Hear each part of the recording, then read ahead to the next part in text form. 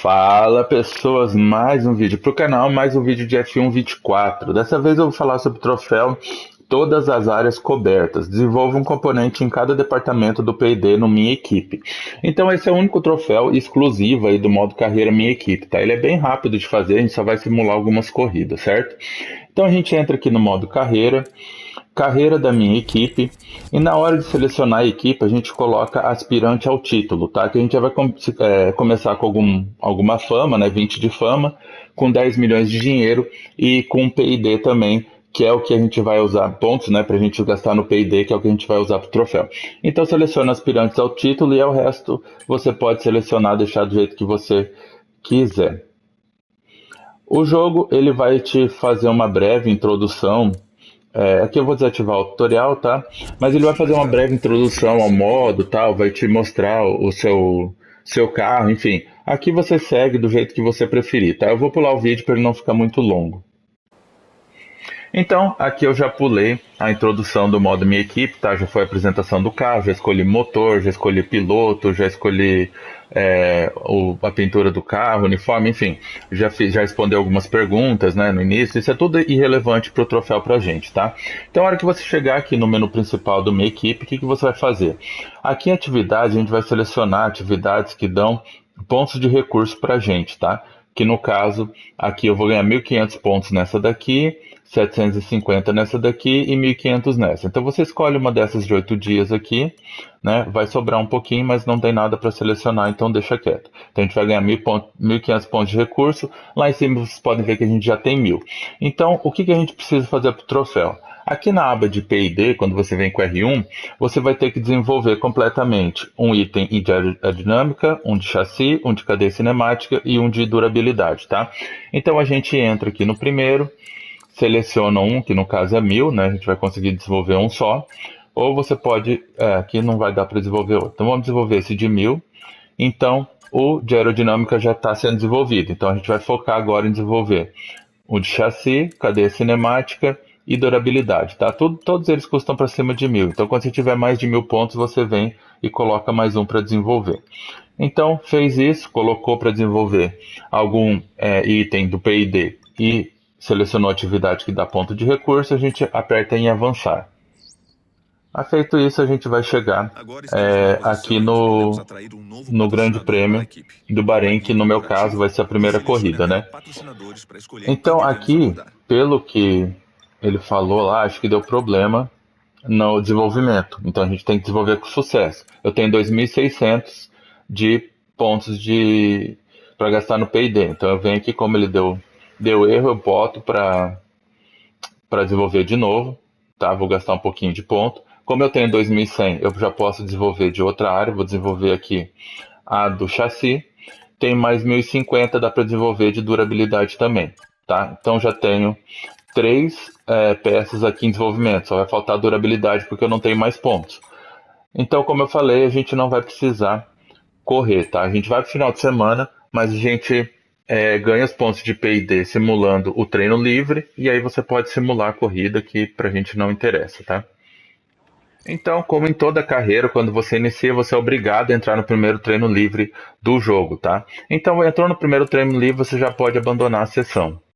Não precisa fazer o primeiro treino livre. Se você quiser fazer e completar é, manualmente ali na da pista mesmo todos os objetivos do treino, fique à vontade, você vai ganhar bastante ponto de recurso para gastar em P&D, tá? Senão a gente pode simplesmente simular. Então eu vou encerrar a primeira sessão aqui do treino livre.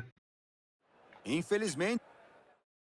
E aí na segunda sessão, no segundo treino livre, a gente pode pegar só os pontos de P&D. Deixa eu Deixa eu carregar aqui. Então a gente vem aqui no treino livre 2, ir ao treino rápido e aqui a gente vai pegar os pontos de P&D, que no caso são 150 aqui. Mais 100. E aí não tem tempo de pegar mais nada, eu volto e vou para o treino livre 3.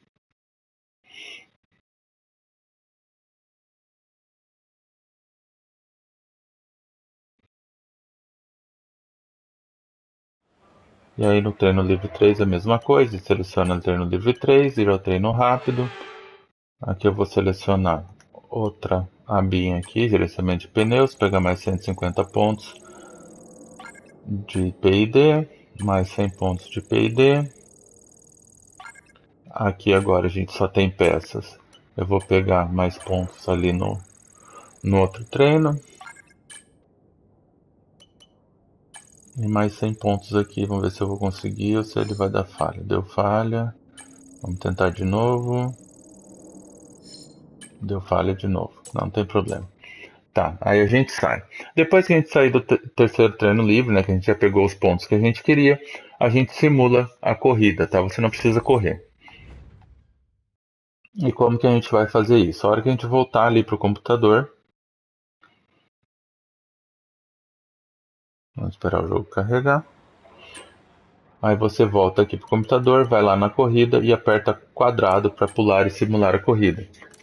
Ele vai perguntar se você tem certeza, você fala que sim. E aí a gente vai voltar para o menu para ver quantos pontos a gente tem para gastar em P&D agora. E ver também se as peças que a gente tinha colocado foram desenvolvidas corretamente, né?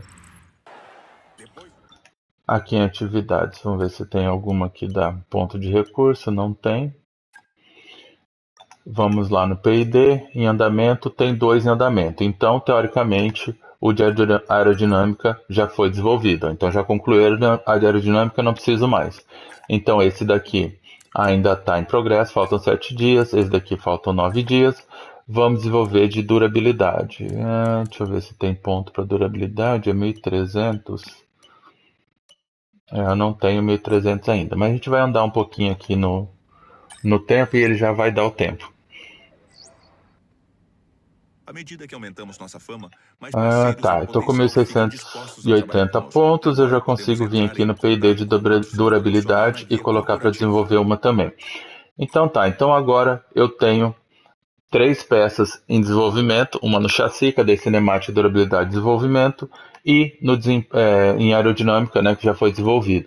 Então, a hora que terminar de desenvolver essas três peças aqui, eu vou ganhar o troféu todas as áreas cobertas, certo? Então, a partir de agora, você não precisa mais pegar é, pontos de P&D. É só você entrar na corrida e simular direto ela até ficarem prontas as peças.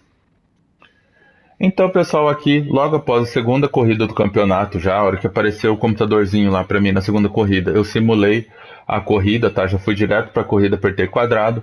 A hora que eu voltei aqui pro menu, teve uma peça que ainda deu falha, né? Eu pedi para desenvolver ela de novo. E agora chegou no, no evento de final de semana de corrida, da terceira corrida, já pipocou para mim o troféu, todas as áreas cobertas, certo?